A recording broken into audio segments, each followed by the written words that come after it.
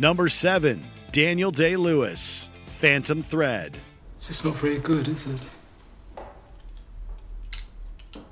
It's ugly.